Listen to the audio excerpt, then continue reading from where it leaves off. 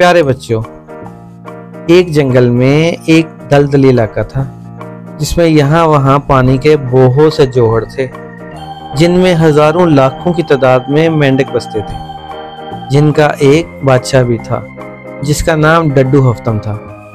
डड्डू हफ्तम बहुत ही दाना और अक्लमंद बादशाह था, जो हर वक्त अपनी रियाया के तहफ़ और फलाह के लिए इकदाम उठाता रहता था। एक दिन डड्डू हफ्तम अपनी सल्तनत के सरहदी इलाके के दौरे पर था। तो वहाँ पे बसने वाले मेंढकों ने शिकायत की कि जंगल के साथ वाले पहाड़ों से रोज़ाना सांप उतरते हैं और बहुत से मेंढकों को खा जाते हैं। इसलिए हमारी हिफाजत का कुछ बंदोबस्त किया जाए और हमें इन सांपों से निजात दिलाई जाए। डड्डू हफ्तम ने मेंढकों को यकीन दिलाया कि इस मसले का ज़रूर सदेबाब किया जाएगा। फिर उसने अपने महल में लौट के अपने सफ़ीर को बहुत से तोहफे तहफ़ देकर सांपू के बादशाह के दरबार में भेजा, जिसने सांपू के बादशाह के सामने हाजिर होके उसे डड्डू हफ्तम का पैगाम बचाया कि हम पुरअमन जानवर हैं, हम किसी को तंग नहीं करते और ना ही किसी को नुकसान पहुंचाते हैं। बरए मेहरबानी, अपने मुल्क में अपनी रियाया को मना करें कि वो हमारी सल्तनत में आके मेंढकों को खाना बंद करें। एक स्या गंजा कोबरा सांप जो कि सांपू का बादशाह था, जिसने अपने सर पे सोने का ताज पहन रखा था, उसने बज़ाहिर बड़ी मोहब्बत से मेंढकों के सफ़ीर के सारे तोहफे वसूल किए। फिर अचानक मुँह खोल के उससे हड़प कर लिया। सारे दरबारी बादशाह की इस हरकत पे हंसने लगे। मेंढकों के सफ़ीर को निगलने के बाद सांपू के बादशाह ने कहा कि ये मेंढक हमारी पसंदीदा खुराक हैं। हम इनको मज़े से खाते रहेंगे। ये मुकाबला नहीं कर सकते। हा हा हा। आज रात जश्न होगा। हम सब मेंढकों की बस्ती में जाकर मेंढकों का शिकार करेंगे। बहुत मज़ा आएगा।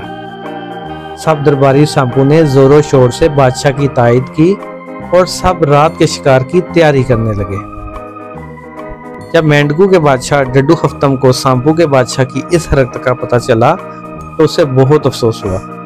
उसने तमाम मेंढकों को जमा करके कहा कि देखो, बेशक सांप हमसे बहुत ताकतवर है।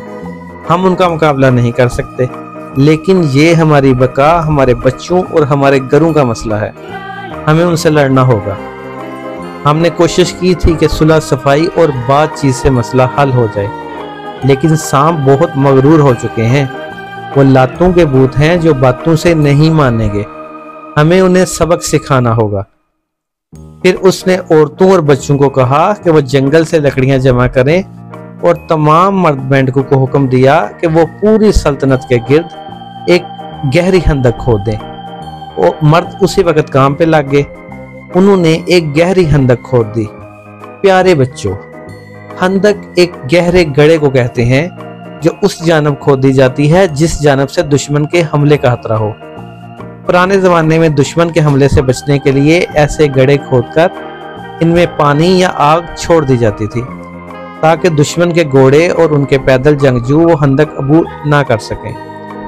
जब सारी हंदक खोदी जा चुकी तो डड्डू हफ्तम के हुक्म पे उसे खुश्क लकड़ियों से भर दिया गया। शाम के वक्त जब तमाम सांप अपने बादशाह की क्यादत में, मेंढकों की बस्ती में उनके शिकार के लिए आए तो डड्डू हफ्तम पहले ही अपने मेंढकों को लेकर वहाँ से जा चुका था। जब तमाम सांप बस्ती में आ चुके तो डड्डू हफ्तम के हुक्म पे लकड़ियों को आग लगा दी गई। बस्ती के चारों जानब आग जलना शुरू हो गई। तमाम सांप उसके अंदर मसूर होकर रह गए। गर्मी की हिद्दत बढ़ती जा रही थी। सांपू को वैसे भी आग से बहुत डर लगता है। सांपू के लिए गर्मी नाकाबले बर्दाश्त होती जा रही थी।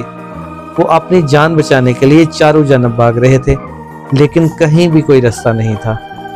आहर तमाम सांप एक के करके जल के या झुलस के मर गए। जब सुबह आग ठंडी हुई तो मेंढकू का बादशाह अपने तमाम मेंढकू को लेकर वापस बस्ती में आ गया और उन्होंने जले हुए सांपों का गोश्त मज़े मज़े से खाया। यूँ डड्डू हफ्तों की अक्लमंदी और जहानत की वजह से तमाम मेंढकों की सांपों से हमेशा हमेशा के लिए जान छूट गई। प्यारे बच्चों, इस कहानी में हमारे लिए एक नसीहत है कि जब भी कोई तनाज़ा हो तो उसे पहले बातचीत से हल करने की कोशिश करें। लेकिन जब बात हमारी बका की आ जाए और जंग नागजीर हो तो फिर अपने तहफ़ के लिए जो कुछ भी करना पड़े, वो कर गुजरना चाहिए।